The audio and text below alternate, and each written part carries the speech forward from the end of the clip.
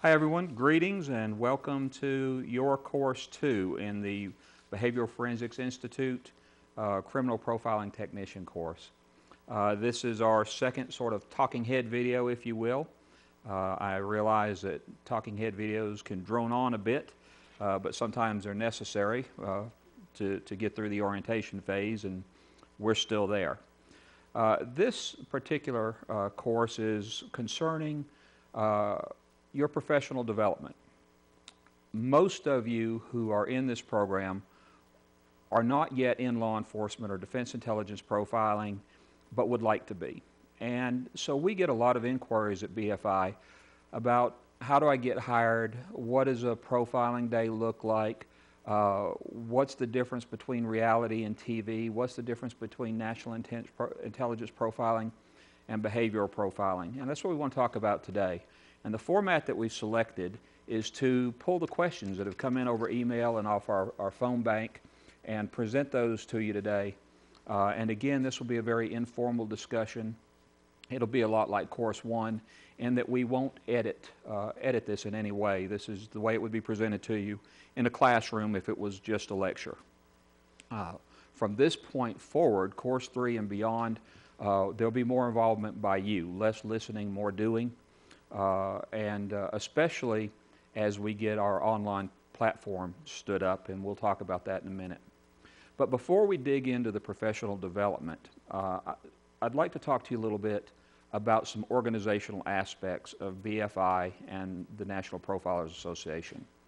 Uh, I'm doing that because the people who are, are inquiring now about uh, joining BFI or joining the profession have some pretty common questions. And I realize that if you're seeing this, you've already signed up, you're already attending classes, you're already making progress. But I thought still would address these things for you in case they were in the back of your mind somewhere. So we'll take a minute and address about seven or eight questions concerning organizational issues, and then we'll delve into the professional development side of things.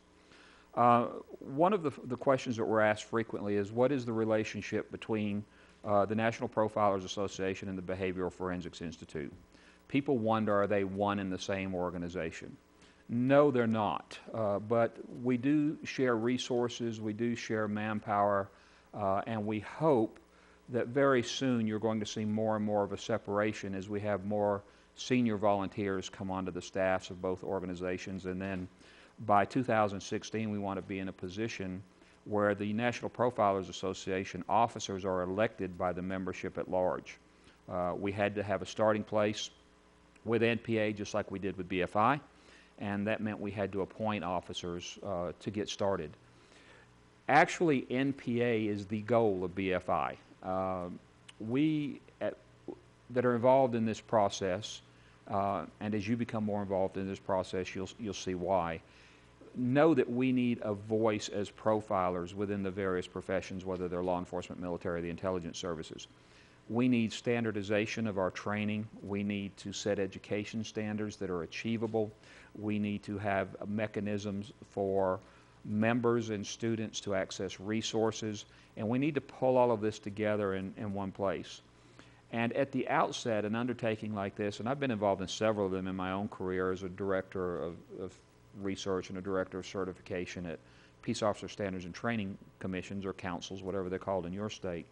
Uh, they're always rough to get off the ground, but they fairly quickly smooth themselves out, and standardization becomes the norm, and people accept it.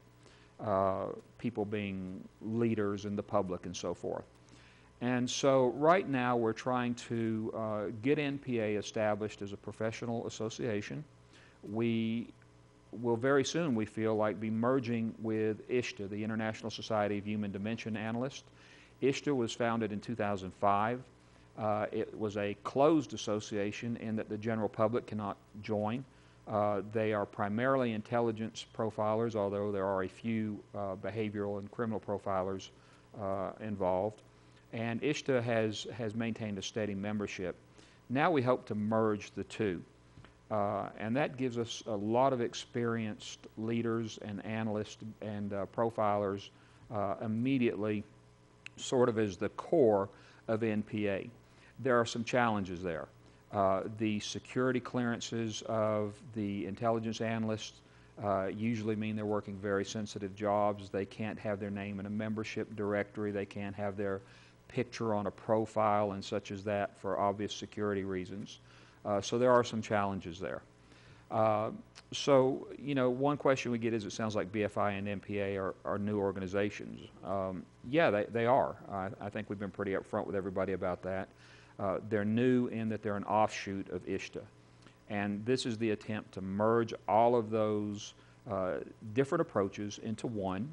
Uh, BFI will eventually be the subordinate academy to NPA.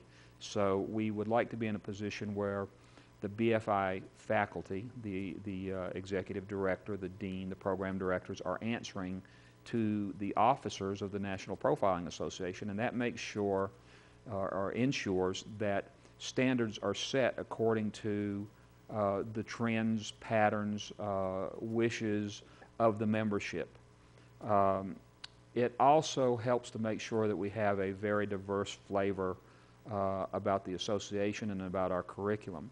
Uh, obviously, the people who, who have been in this business a very long time, who have master's degrees and doctorates, few who have bachelor's degrees, many intelligence analysts, um, national defense intelligence profilers, have bachelor's degrees, and that's their stopping point. Not all by far, but many of them. Uh, but there are a lot of people who have masters and bachelors, uh, excuse me, masters and, and, PhDs, who don't think that if you don't have those, who think that if you don't have those degrees, you shouldn't be in this business to begin with. Um, that's a debate for another day. Uh, you've seen a little bit about that on, on the BFI website, but eventually the membership will decide what the standards are for this profession. So you um, are groundbreakers. You're, you're on the ground, ground zero of this uh, effort, and we're very pleased to, to have you as students. We're very pleased to have you as members of the National Profile Association. We're very proud to hear your voice. And we hope that we're going to be of such service to you that, that you will be happy um, that this is one of the things that you've, you've chosen to involve your life with. Um, we are dedicated to helping you find the job that you want. We are dedicated to helping you grow in that job. And uh, I hope that uh, many years down the road, I can look back and say, hey, a member of this particular class, right now I'm talking to class 1532, but this this camera, uh, excuse me, this video will be on, online for future classes as well. I hope that a member of your class is the president of NPA. Uh, you've got a few years under your belt doing this type of work, and, and you look back fondly uh, as being what's called a plank owner uh, of, of BFI and, and NPA. Um, the grant award program sounds too good to be true. How can BFI afford to make this offer?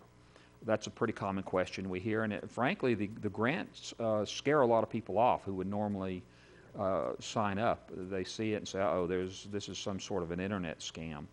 The truth of the matter is, we probably should have waited another six months or so before we stood up the online classes, but we, we need to go through the nonprofits uh, process. We need to find our weaknesses, uh, and we, we found many, and you've been good enough to offer your feedback to, so that we could correct some of those, and I'm sure we'll find more.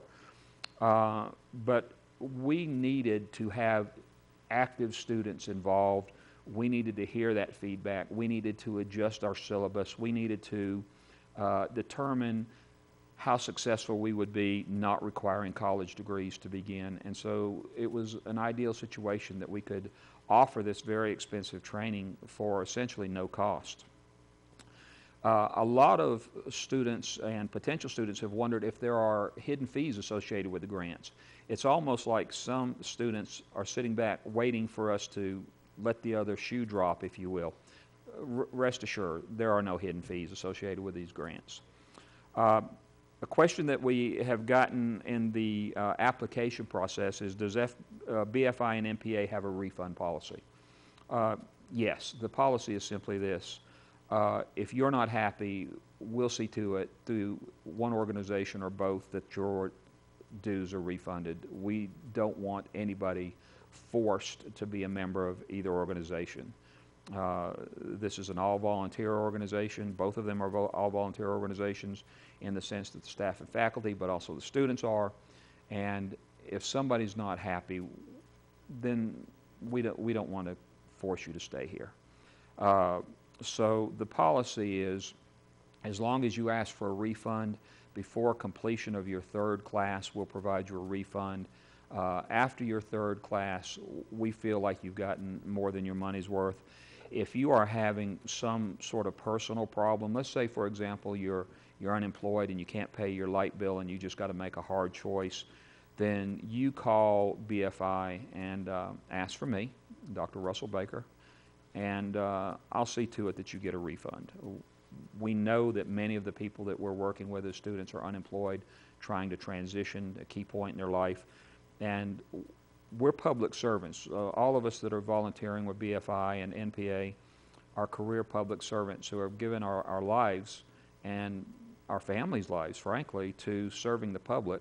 Um, and if, if you're struggling, we, we don't want to be a contributor to that. We want to be part of your solution through BFI and NPA. We don't want to be part of your problem.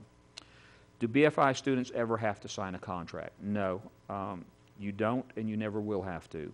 Even in our job placement services, uh, headhunting services, if you will, uh, we're student oriented. And if we get to the point, we'll talk about portfolios in a little while, if we get to the point where we're actually selling student portfolios to agencies so that employees can be hired, profilers, analysts, or technicians, uh, crime scene technicians can be hired, then that will be an expense borne by the employer, not the student. That's our hope. We're still doing some studies there. There's still some things to look at, but we'll talk about that in a little bit as we get into professional development. Uh, what are my sponsorship annual dues used for and what do they cover? Um, they're used to pay for things like printing, maintaining your, your transcript, uh, postage to mail out your transcript, the computers that are necessary to manage uh, those aspects of your career. And you'll also see that NPA is going to be offering some internships for people who are interested in actually getting a little real world experience.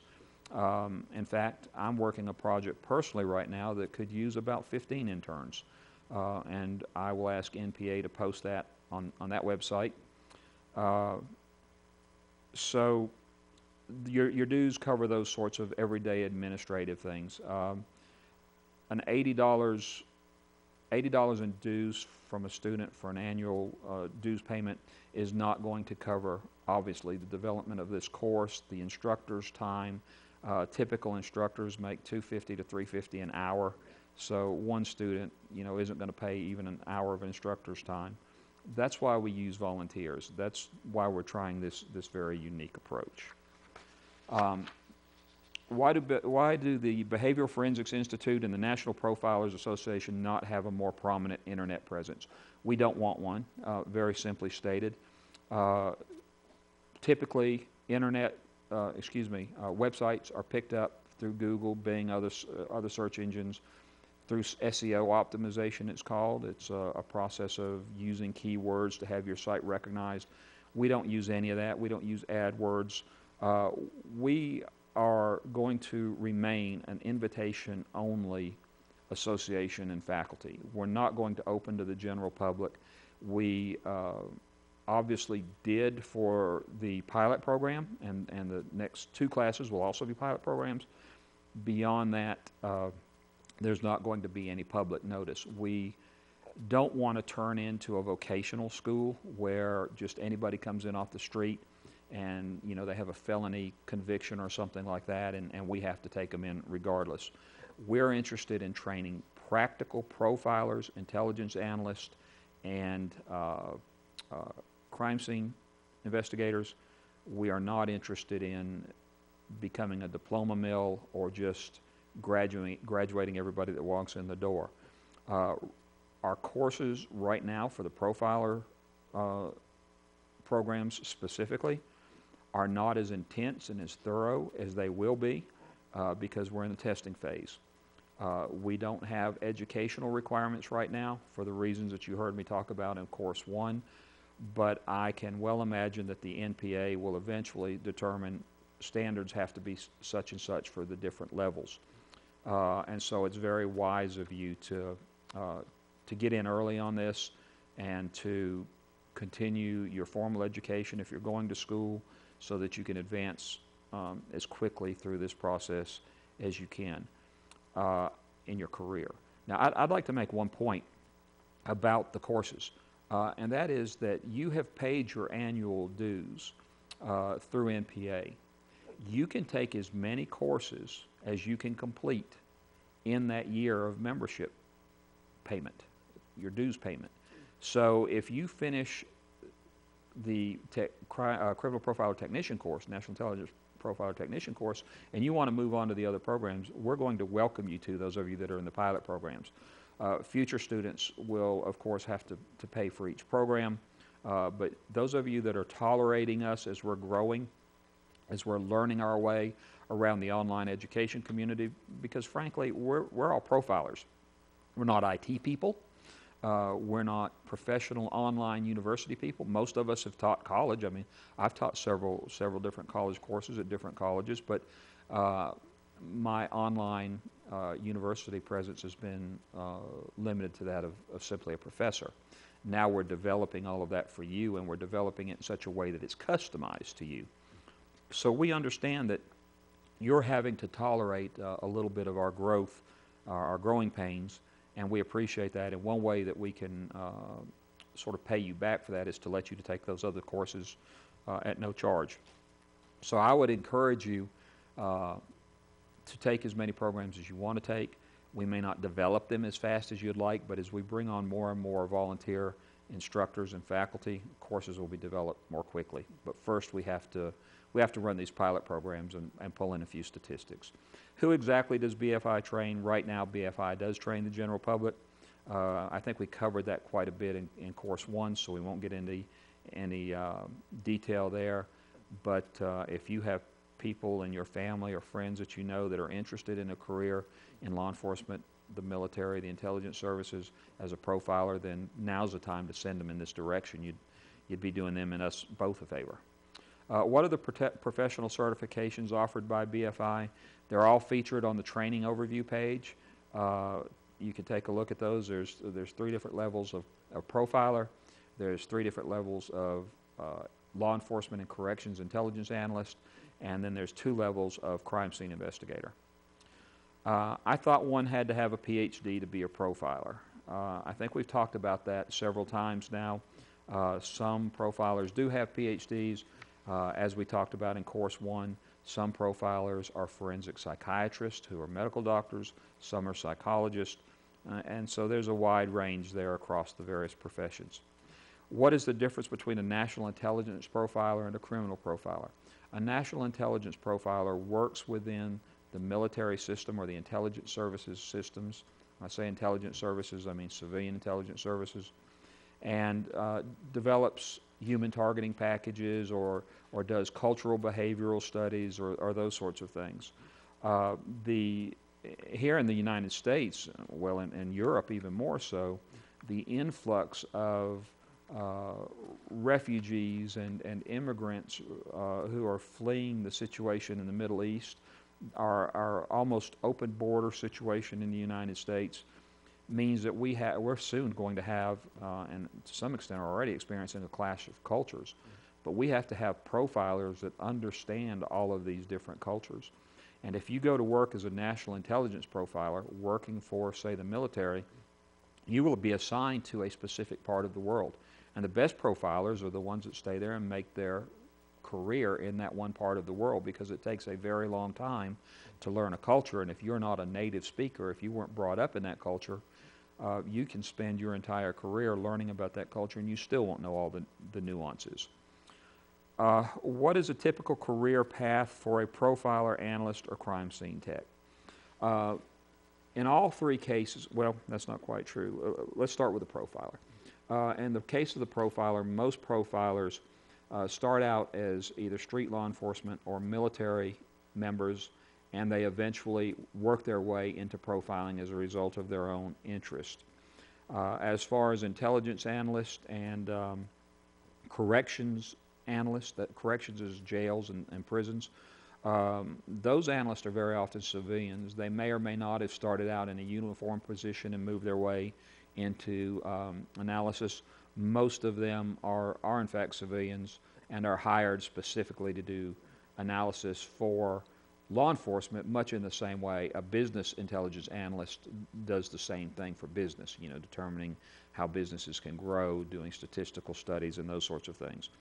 crime scene techs um, are not what you see on television. Um, crime scene techs are generally people who have an interest in that field and uh, go into that field specifically intending to make a career of it in law enforcement.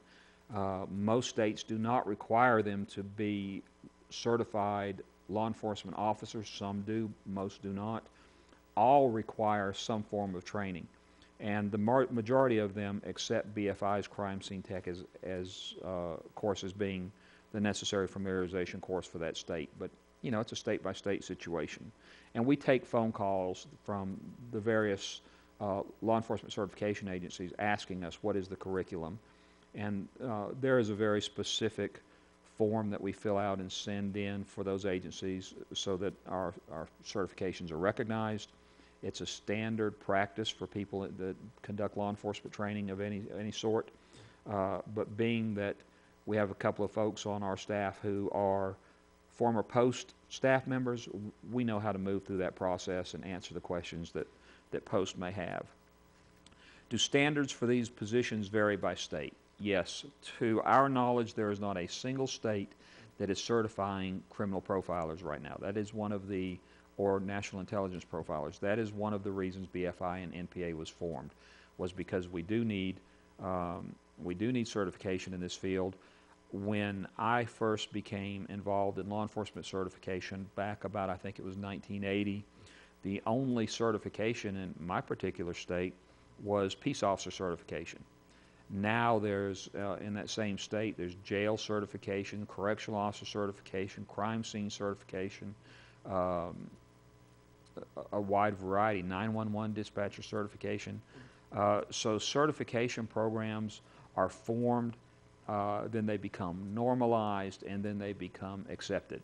And so for profiling and intelligence analysts, we're very much in the forming phase. Um, it'll probably take us a year or two to begin for this certification to sort of get out there. As you guys graduate, people become aware of you. And we will be giving uh, talks at various uh, large law enforcement associations. Um, uh, we'll try to speak at the International Association of Chiefs of Police, National Sheriff's Association, some of these other associations, and make law enforcement aware that this program is in existence, which makes you more hireable. I'm not sure hireable is a word, but we'll go with it today. Uh, what is law enforcement certification? Well, uh, that's a pretty good question. Law enforcement certification is licensing. In every state in the United States, uh, you must complete a certification process, a hiring process. That is, you have to be a certain age, usually 21. You have to not have a criminal record, uh, show a pattern of disregard for the law, uh, you must pass a physical fitness test, psychological evaluation, and in some states a polygraph, a lie detector, if you will. Um, so that's the pre-certification process. Once you've had that background investigation and, and jumped through all of those various hoops, the next step is that uh, you go to the police academy. Once you graduate from the police academy, you're either recognized as certified by that state, and there's a state or two that require you first to do some field training officer training. You have to have a little time on the road. But so far as I know, every state in the United States requires you to be certified before you complete a year of law enforcement uh, employment. So uh, it's a good idea to, to have even these types of certifications early because as your competitors are going through, meaning your peers who are looking for a job just like you are, as they're going through this process, most of them are not going to have any certifications uh, you will have some certifications, especially if you take multiple certifications at BFI. Are students guaranteed a job once they graduate from BFI? No. I, I, wish we could guarantee you that, but we can't. We take phone calls constantly from people asking us to, from agencies asking us to help find and recruit profilers or analysts, but we cannot guarantee you a position. The reason for that is that there's too many variables associated with you as a person your peer group, those you're competing against, the agency, and the various laws. Um, so, for example, you may do great in our courses, um, but you may have a history of traffic infractions. You know, you, you've been arrested or you've been cited 10 times for reckless driving. Uh, we'll just make up a silly example. that may be a disqualifier in that law enforcement agency. You may do great on your background investigation, do great with us, pass your polygraph, but when you sit for your interview, you just don't impress the, um, the recruiter that's talking to you, the training officer that's talking to you. Fortunately, that's one thing we can help you with at BFI. Uh, we, we're really committed to helping you find a position. And if you're having some problems getting hired, then, then please drop me an email. Let's set up a, an appointment to talk, and let's talk about what particular problems you ran into and how we might be able to mitigate them because there's waivers of problems sometimes. Uh, maybe you need to tweak your interview style. We can do that over a Skype session or two. You know, I'll sit, sit, or somebody else on the staff will sit as a as an interviewer, and we'll interview you, and we'll tell you what your strengths or weaknesses are. We'll give you some tips. Uh, I've been a law enforcement leader myself. I was a police academy director. I've been a hiring authority. Uh, we understand what the agencies are looking for, and we want to help you get there. But we can't guarantee you a job. We just don't know all of the things about you and your background, and we don't know the expectations of the agency you may be applying for. You know, obviously, uh, a uh, potential hire, a candidate for LAPD, Los Angeles Police Department, is going to hire uh, is going to face a very different set of hiring circumstances than uh, a potential candidate in some small department in Texas or Mississippi that's got five or six officers. Um, so it can be very different. And then, of course, the recruiters, the trainers, and the executives of that agency's personalities come into play too. That's yet another variable. So, you, you know, it's like any other job, but there's a lot more requirements and a lot more standards. Uh, are there different levels of law enforcement training in their profession? I guess that means in law enforcement training profession. And if so, what are they? Yeah, th there's, there's different types of training. The first level of training is called basic training. That's your basic police academy. Uh, exactly how long those police academies are and how they're conducted varies greatly by state, according to state standards and state culture. Uh, you know, if you get in a big uh, inner city police department where you've got a certain type of population, I, I, can remember a department I used to work for that we had an entire, this was not too terribly long after the Vietnam War, but we had a, we had two very um, distinct populations of uh, folks from Vietnam and Laos. They, Laos. They were two different communities. They were close to each other in geographical proximity, uh, but we had some very significant language challenges at first when those communities became established. We had to learn their culture, they had to learn ours uh, until they assimilated into the American way of life. So, um, you know, those types of things are considered uh, in a ba basic police academy. The second level of training is called in-service training. Uh, every state requires that officers undergo in-service training each year. That's just training. Usually it's 40 to 80 hours per state, and that's just training that keeps your skills sharp. So that's, you know, making sure your CPR uh, certification, first aid certification, your fire, firearms qualification, all of those sorts of things are kept up to date. Uh, so that's, that's annual training. The next level of training is intermediate training. This is the training that you need to do your job uh, as a law enforcement officer or national intelligence um, analyst, depending on, on where you are in your career. Um, those are the things that, that help you do your job better. You've already established yourself, you've got basic training under your belt, perhaps you've taken a year or two of in-service. Intermediate training is, let's say, for example, you decide you want to be on the SWAT team. You may take a SWAT course, or you want to be a hostage negotiator. And, and very often, uh, you should know uh, profilers are very often hostage negotiators because they understand human behavior uh, or you want to become a homicide detective. These are the sorts of classes that fall into the intermediate level. Then there's the advanced level. Advanced level courses are just that. Uh, maybe you've taken basic homicide detective course in your particular state as an intermediate course, and then you go back and you take homicide detective level or homicide investigator level two. That might be your investor or advanced SWAT. Uh, the next level is management supervision uh, supervi excuse me, supervisor and manager. Supervisor is typically a sergeant or a lieutenant. That's your training on how to be a corporal, sergeant, or lieutenant. Uh, manager tends to be lieutenant, captain, and major. An executive or command college is your chiefs and assistant chiefs. Okay. Uh, everybody at BFI, by the way, on the faculty is is at least um, a manager level. Most of us are executive command college level. Uh, and most of us have both military command college level as well as law enforcement command college level. Uh, what is the basic police academy like? It depends on your state. Um, but you're not going to go into the basic police academy and be recognized as either a profiler, an analyst, or a crime scene technician. You're going to go in and be recognized as a recruit. Some states use a very military type of training. My academy did. Uh, we used a Marine Corps format uh, in our training. Other states uh, are more laid back. Um, in, in our particular state, we had regional academies, and it was up to the director, so long as they met the state post standards, what the tempo and the, the culture was like in that academy. Uh, I ran my academy in a military type way, while I had peers who very much were collegiate in atmosphere. Um, does it help for a profiler to have military experience? If you're going to be a national defense intelligence profiler, yes. Uh, because you, you need to know how to move around the military system. Does that mean you have to have active duty experience? No. Uh, you could certainly join the, the Guard or the Reserve and get your intelligence training that way to get your foot in the door.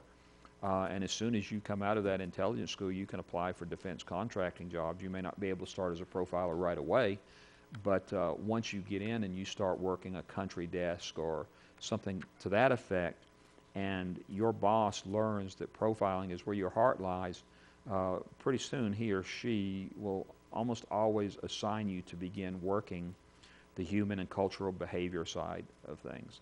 Occasionally, too, I should mention to you that profilers work economic considerations. Uh, they'll look at a culture and say, hey, this is, this is what they're likely to do economically.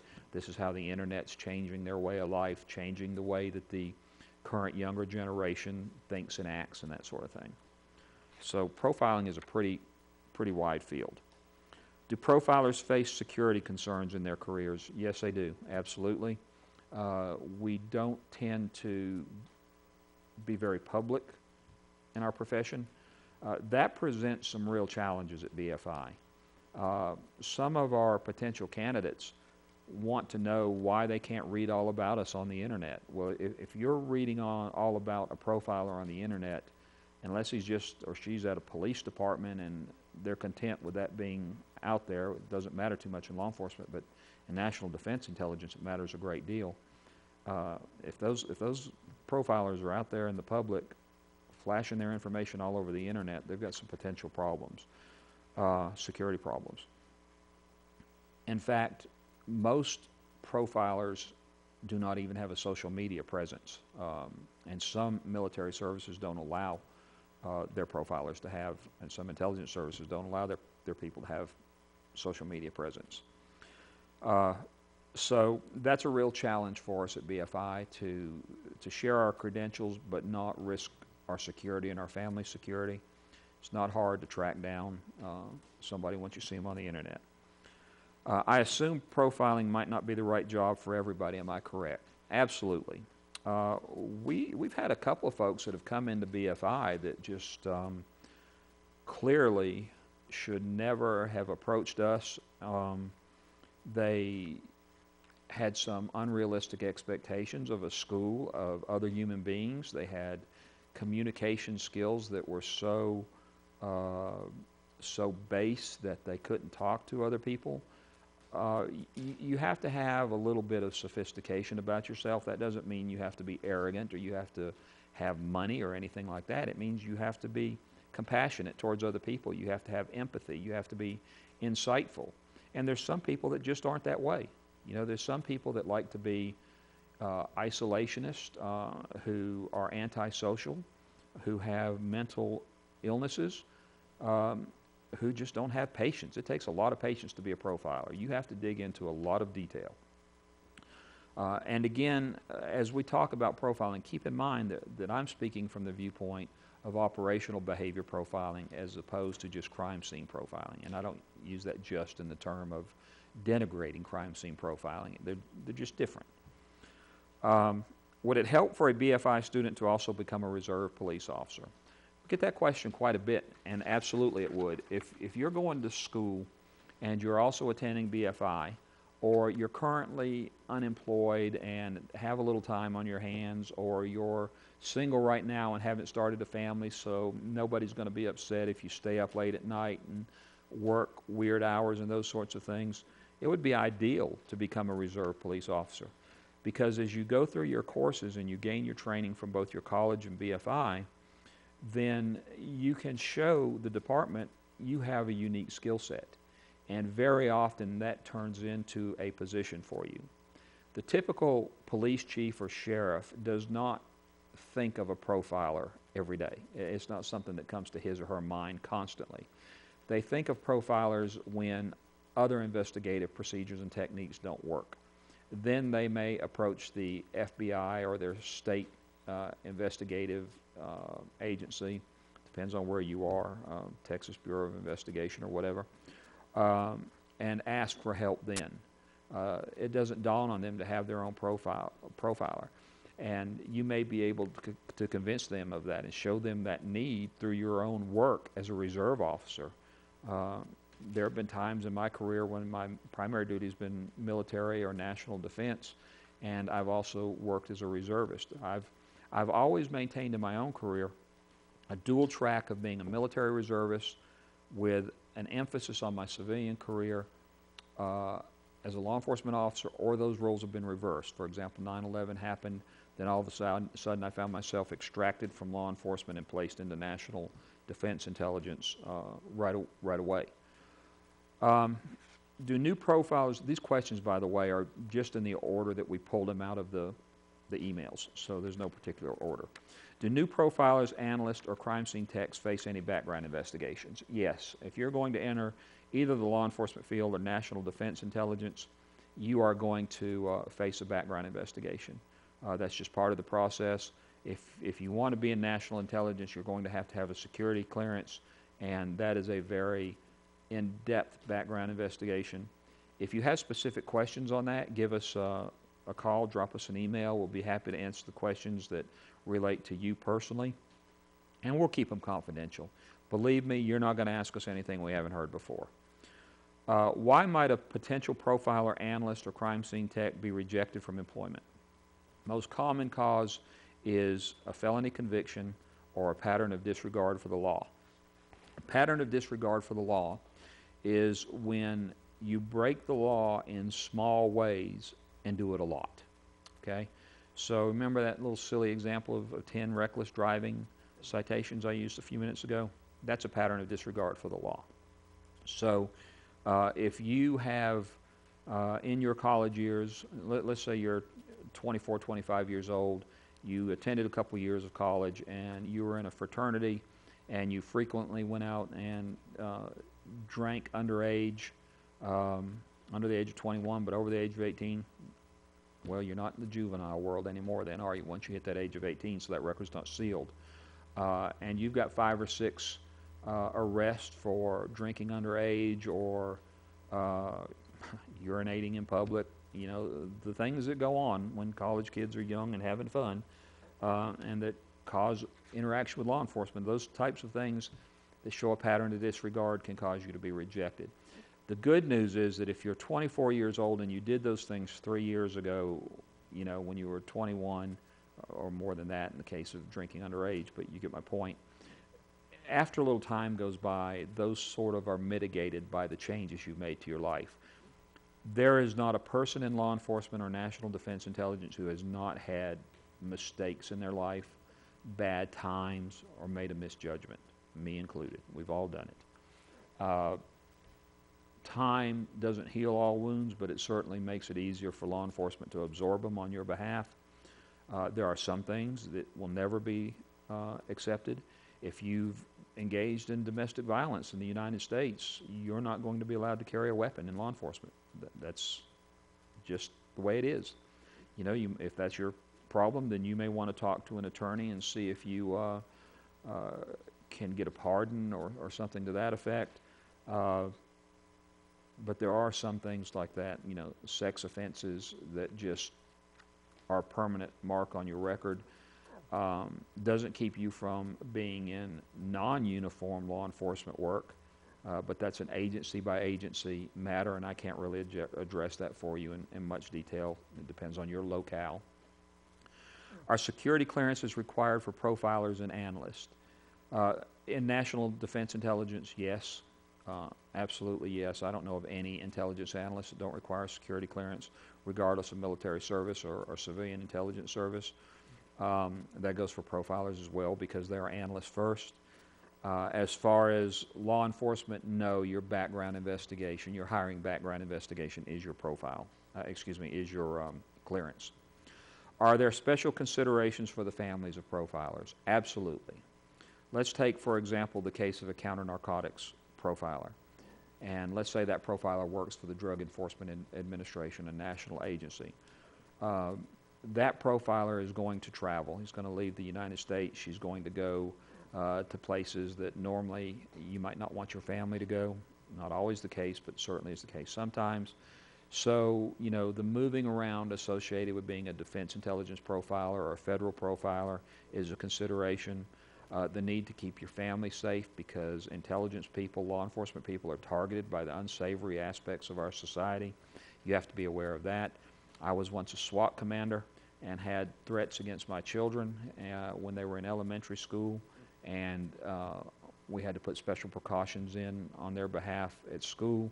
That was in a SWAT role, not a profiling role, but nonetheless, those sorts of things can happen depending upon the cases that you're working.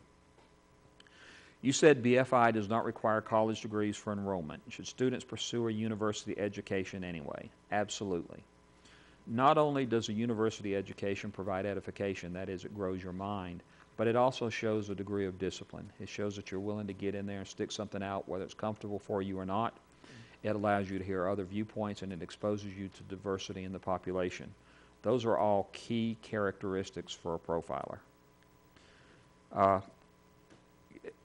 there's no reason you can't do both. Uh, I, I went to my criminal justice program, undergraduate program, in the 1970s under a program called LEAP, the Law Enforcement Assistance Program. That program doesn't exist anymore, but it paid my way through school. At the same time, I was a military reservist. I was a Marine, just off active duty. I had a young family, uh, and you know several other things going on in life, plus working a part-time job because hey, that's just the way life was back then and is for many of us now. Um, so going to school definitely enhances your chances of getting where you want to be as a profiler. Um, if you take your BFI classes, earn your certification, and go to work in law enforcement or the intelligence field, you will get to where you want to be with these certifications, provided that you continue to read and study. Profiling is not something that you learn once and then leave it. It's a very perishable skill set. Um, so a university degree and the growth that comes with a university degree is helpful. It teaches you research skills, it teaches you writing skills, and all of those things matter if you want this to be your full-time career. This being profiling, I'm speaking primarily to. Intelligence analysis is no different. If you want to be an analyst, it helps to have good writing and speaking skills. You're going to be briefing people that are very senior to you in, in your and their profession and you need to come across as polished, which is probably the word I should have used earlier instead of uh, sophistication. Um, and that comes with time and experience. Uh, one of the things that you do in an intelligence school, um, at least the one I attended, is almost every day we had to build a briefing and we would come in very early in the morning and build a PowerPoint briefing and then we had to make that presentation. Uh, talking to you today, uh, I have questions written down, but I don't have notes uh, I have to be able to sit here and convey this information to you in such a way that you understand it. And that's despite whatever personal idiosyncrasies I may have, my voice being too low or my vocabulary being limited or too many hand gestures, uh, those sorts of things. So school helps you build those presentation skills, get you used to talking to an audience, helps you learn to research, makes you appreciate reading, keeps you abreast of technology, you know, all of those things matter. And in a perfect world, every profiler would have a PhD, but the world's not perfect and we can't all afford PhDs. Um, can BFI students earn college credit? Not yet. We're working on that. Uh, several times in the past, uh, working in police academies posts so forth. I worked on endeavors where law enforcement training received college credit, military training received college credit, and we are in the process of working that now. Uh, we're trying to do it in such a way that that credit crosses state lines and is not restricted to any one state. So that's going to take a little while, but I think probably within the next year you'll see that you will get college credit at most colleges for this course. However, that also means we have to make this course more intense. We can't offer you a 160 hour course and expect a college to give you a year's worth of credit. That's not how criminology programs, criminal justice programs work. Uh, they're more involved, they're more intense, they have more specific standards. We have to get a lot more interaction from our students in these programs, for example.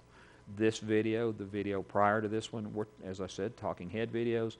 That's not the type of um, um, exposure to education that proves that you know what you're absorbing. So we will be adding exams and papers and projects and group projects to the program, which will bring us more in line with college expectations. Uh, but right now, we need to get through the uh, the pilot program. And one of the good things I'll tell you about that, the, the future is, let's say that you complete two programs and the programs become more sophisticated over the next couple of years.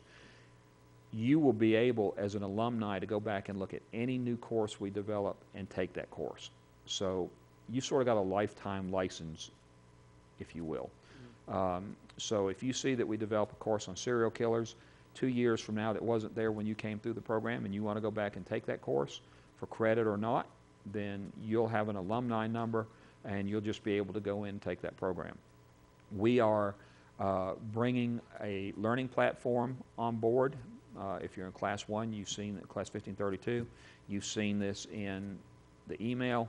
If you're in future classes, this will have already been established but we're bringing an online pro, uh, platform, learning platform on board called Moodle. It's an open source platform that is used by a lot of universities. Uh, we've been working on that for the last several days, um, just about a week. Uh, that will be coming up uh, soon, be going active soon. We'll be launching that. And for alumni to take those newly developed classes, you'll have that permanent alumni number and you'll be able to go back in Moodle and just surf and see what's there that applies to you. Uh, and perhaps you can come back and be an instructor. We'd love that. Um, lost my place here. What makes a potential profiler, analyst, or tech really stand out in the hiring process? We mentioned certifications. I mentioned certifications that they, um, they definitely make you stand out because they show that you are willing to act and not just talk about your interest those go a long way on a resume, uh, especially when you can provide actual copies of your diploma. Membership in NPA shows that you have a real interest in law enforcement. Your ability to conduct a good interview, as we discussed, we'll happily work with you on that, if you, especially if you've got an interview coming up. If you're going through the process and you know that you have an interview coming up in a week or two, please feel free to give us a call and we'll run through a role-playing exercise with you two or three times to help you polish your presentation. Uh, your ability to, to speak to the point. Uh, law enforcement and, and intelligence work, uh, while detail is necessary to provide foundation, uh, they, we really like an analyst or profiler who can present what's called a bluff statement. Bluff, B-L-U-F, bottom line up front. Can you get right to the point? I, in my own career, not that my career is perfect by any stretch of the imagination, but in my own career, I've made it a habit if I'm asked a question to always answer that question very directly, immediately, and then come behind my answer and explain it.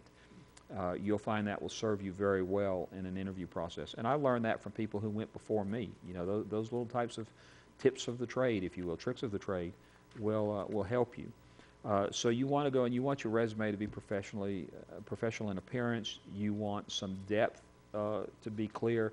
You want to show that you have an appreciation for individual people, sort of a holistic approach to life. You know that all people have value. You want to show that you have an interest in cultural diversity. You have sound judgment. All of those things can come through in the interview, and we're more than happy to help you uh, with that role-playing exercise. So please take advantage of that. And if you've got an interview coming up and you're one of our students and you want to do a role ex- role-playing exercise, we'll drop something else we've got going on to come to you to serve you. Okay? That's, that's my personal pledge to you. It's hard to get that interview. We don't want that interview to, to be the reason you didn't get hired. I understand that, that you founded a practice called intelligence profiling or operational behavior profiling. What is different about that model and what we typically see on TV? Um, most of the, I don't watch profiling TV shows, so I don't know very much about um, some of the things that are referred to me, some of the programs that are referred to me um, or made reference to me. Operational behavior profiling is very practical. It's intelligence based. It's about uh, predicting what bad guys are going to do, mitigating surprise, intervening before bad guys can do things that they intend to do, making them move and communicate. We talked a little bit about that in uh, session one. Uh, but most of the profiling that I imagine you see on TV has to do with crime scenes. Uh, and that's the traditional purview of, uh, of law enforcement. Um, and that's why we made it a point to include Mr. Turvey's text as one of your recommended readings in course one so that you could see that difference between what I presented to you about operational behavior profiling and what um, you would have seen following that behavioral sciences unit from the FBI's process. They're complementary, they work very well together, but they are different. Uh, I've applied for and even been interviewed for law enforcement or defense contracting jobs, but never got called back. What could I have done wrong and what might I do different? I think we've covered that. Um, it could be your interview, it could be a background problem. Uh, we talked about helping you out with role playing for interviews, but another thing we might do for you is we're happy to review your resume. We won't write it for you. Uh, we don't have time to write everybody's interview, but we'll certainly review your resume for you, tell you your strengths and weaknesses, and make some recommendations. One question that we get quite frequently, and I used to get at the police academy, is should I have my resume professionally uh, designed and developed? I personally, this is my view, I don't think it is worth that money um, because you can convey your point without spending thousands of dollars hundreds of dollars. I don't know how much it costs to design a resume. Uh, we can we can help you with that. And if if I get emails from four or five of you that have seen this video and you say, "Hey, we'd like a, a resume building class," I'm happy to help you with that. I'll put put together tape like this that won't be required watching, uh, but we'll get before a whiteboard and actually line out some stuff for you. But I, I will promise you as a service of BFI that we will review your resume and your transcripts and su- such for that and tell you where, such as that I meant, uh, and tell you where you might beef up your credentials a little bit. When I was young, I had a misdemeanor arrest. Does that preclude me from government services? Service? Um, no, not if it's the one or two or, or maybe even three. It's a state by state standard, but it also depends on what the nature of that arrest was, um, and especially if a little time's gone by. Um, one of the big considerations is how people talk about you in your background investigation and your letters of reference. Who are they from? How much weight do they carry? Like everything else, law enforcement has some po- politics to it. If you have some political connections in your community, by all means use them. You know, if your family has been friends with a judge for years and he retired uh, and he's no longer on the bench, so he's allowed to write a reference letter, by all means pursue that. That can help po- provide some counterweight to that problem you had. I smoked weed a long time ago. Okay? Can I still work in law enforcement? Depends on how long ago that time was. Because if you smoke enough weed, well, maybe a long time's not what you think it was. Um, yeah, if you know, if you go if you go take your urinalysis and your background investigation and you fail it because you smoked weed, well, you're not going to be hired. Um, if you fail the polygraph because you lie about smoking marijuana, then you're not going to be hired. Um, if you have used drugs in your past, you need to, and you're serious about being in this profession, you need to own up to that very early in the process. Save yourself a lot of heartache, save the recruiters a lot of heartache and time.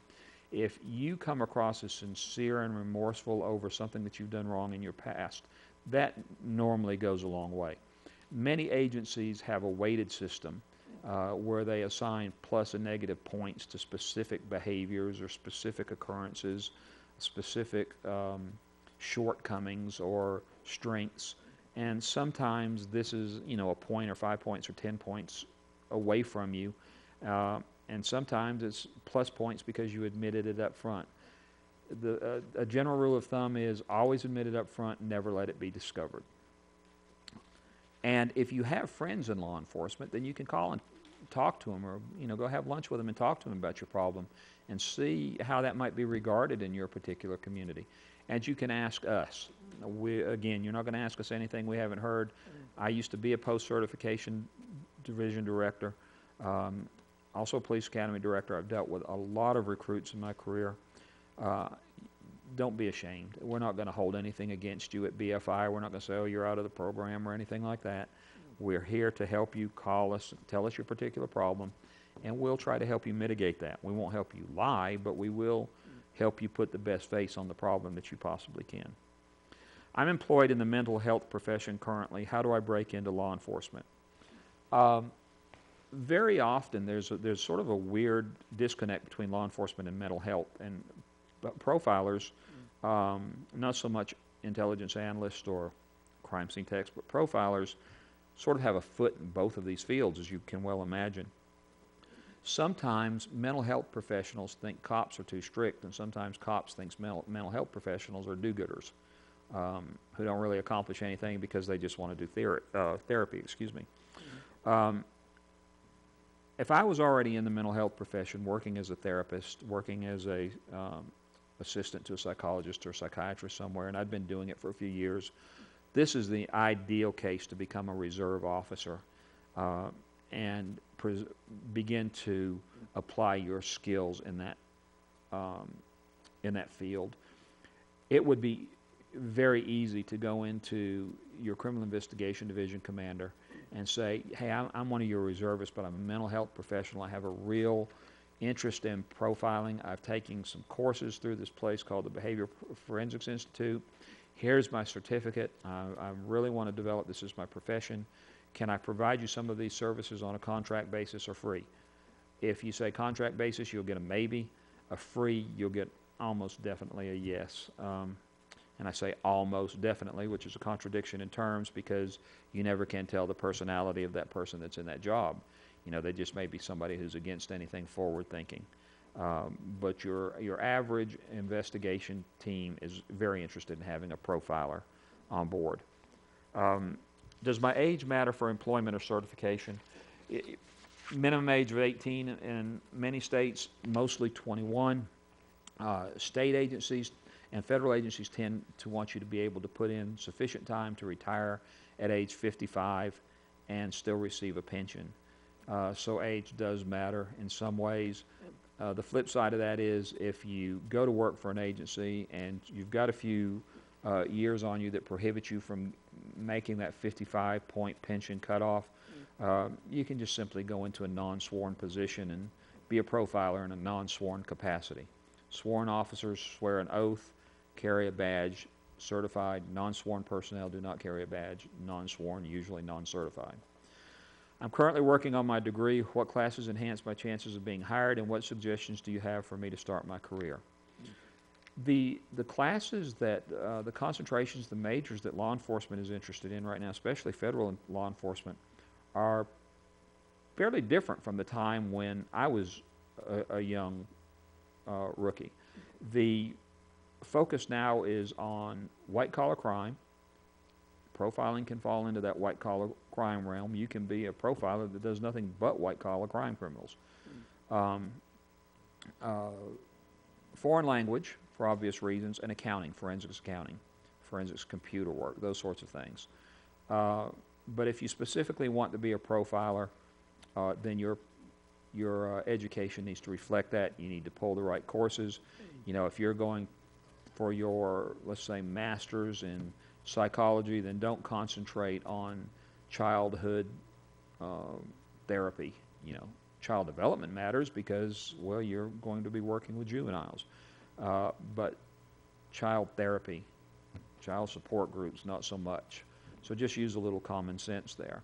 Um, get you a couple of textbooks on criminal profiling and just look at the table of contents and the index and sort of match keywords to what classes are available at your school for the particular semester that you're um, enjoying or enduring, depending upon your point of view.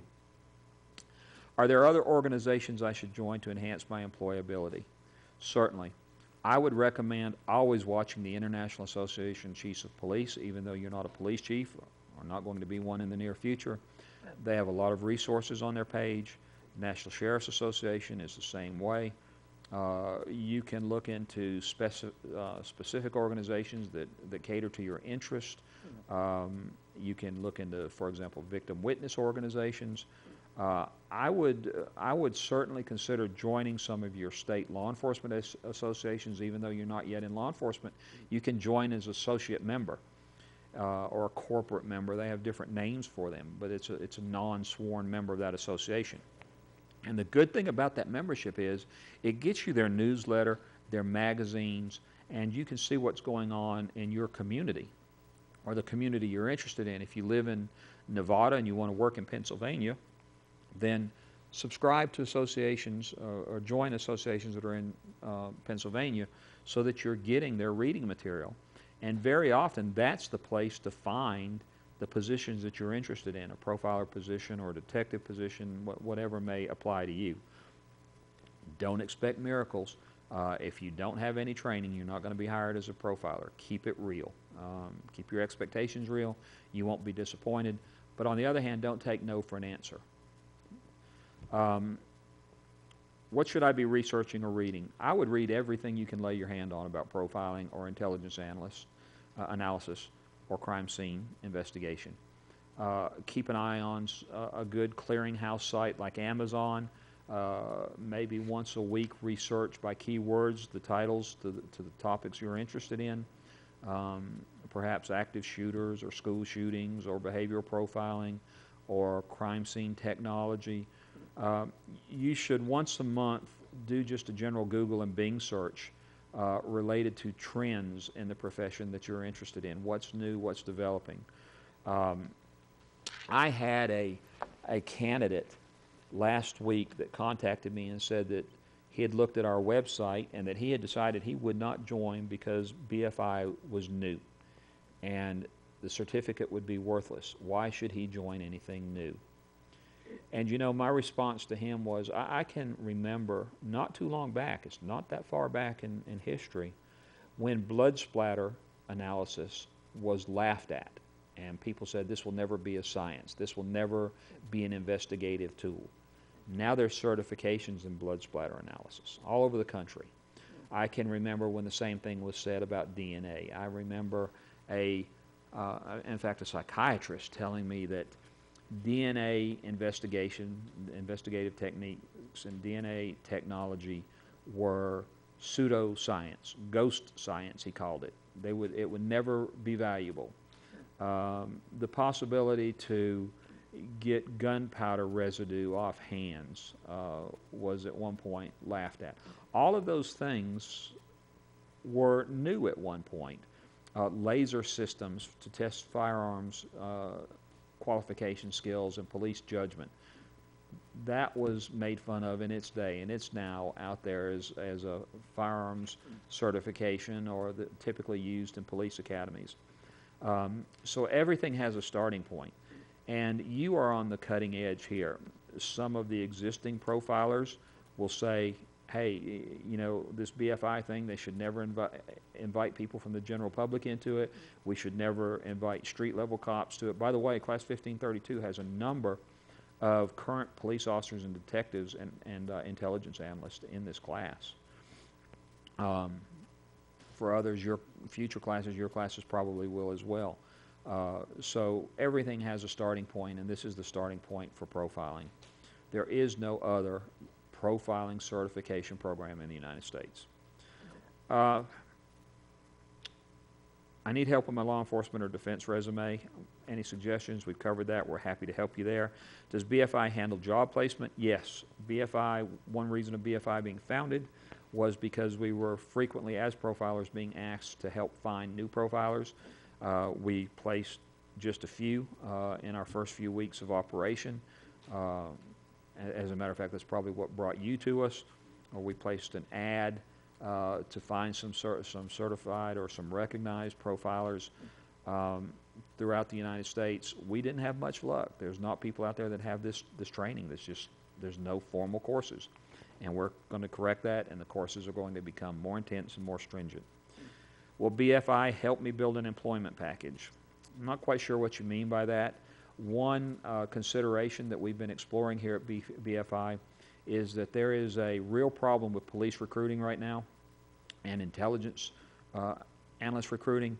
In uh, the case of law enforcement, the situations in Baltimore, Ferguson, um, threats from terror groups against uh, military members and law enforcement members have, have all made police recruiting become more and more difficult.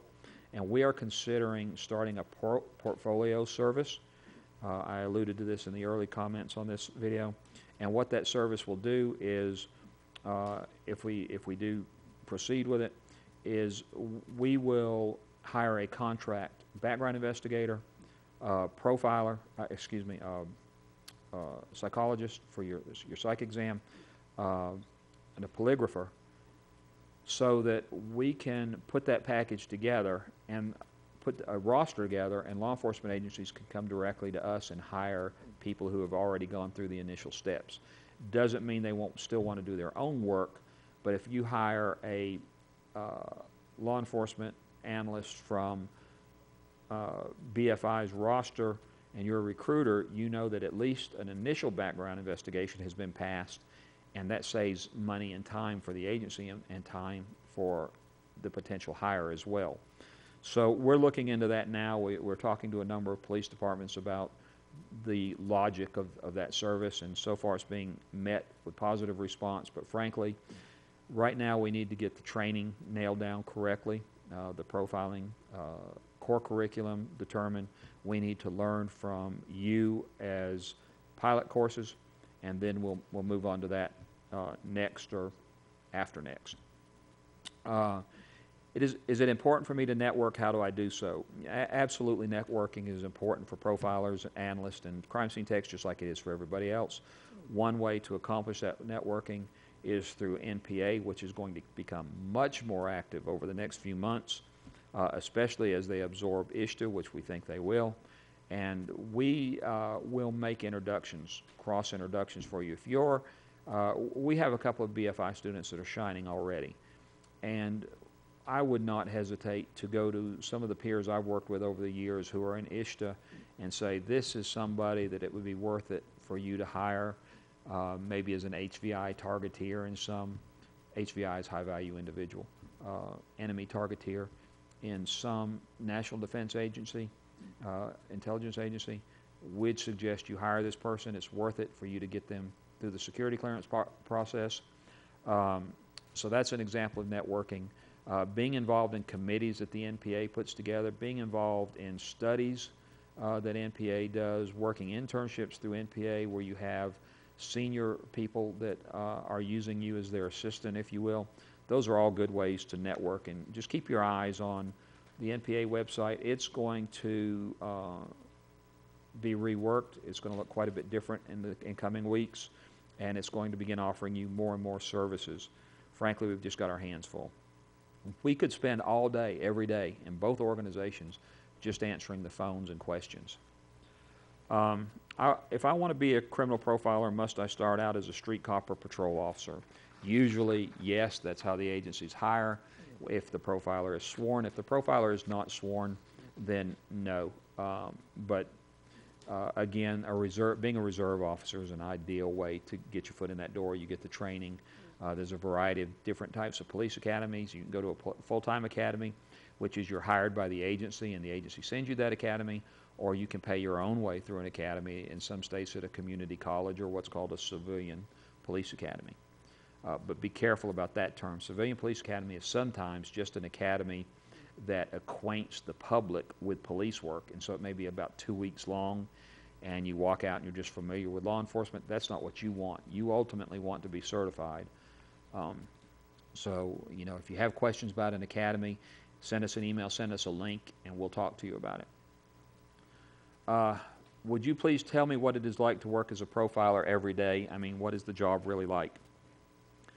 You'll have more cases than you can work. Uh, if anybody ever finds that you've got downtime, they'll quickly fill up that downtime. The work is very detailed. There's a lot of writing. There's a lot of briefings. There's a lot of reading. You'll, you'll have to read a great deal of material about either your subject or your type of subject or the crime your subject has committed or whatever activity activities involved in, depending upon what type of profiler you are. Um, you'll spend a tremendous amount of time on the computer. Uh, if you're lucky, you've got other people just like you that work around you, so you can experience analyst crosstalk every day, which is where you sit down and you share ideas and strengths and weaknesses of cases and approaches and those sorts of things.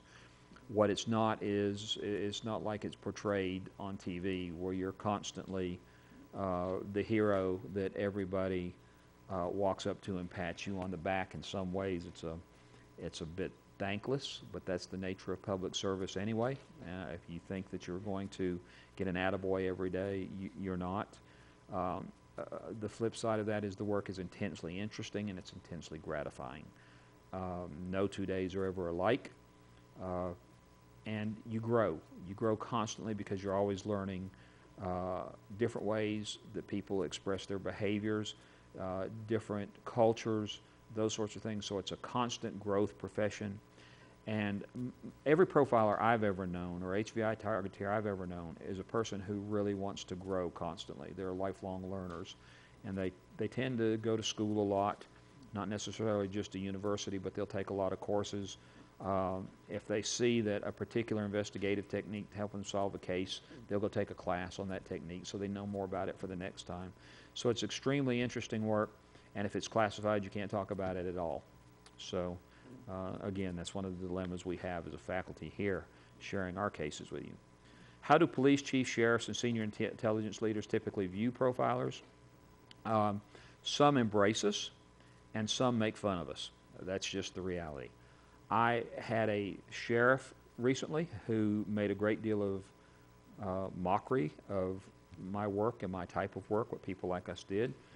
We did a case for him free. He laughed at it as we were doing it. Our investigative techniques were silly and so forth and so on. And then the subject was apprehended, and the subject met 90% of the criteria and uh, substance and information that we provided, investigative leads we provided to that sheriff. Um, one would like to think that that sheriff stood up and said, "Hey, you guys were right and I was wrong." He he didn't. He just ignored us. Um, so you've got some of those sorts of people, but those are rare.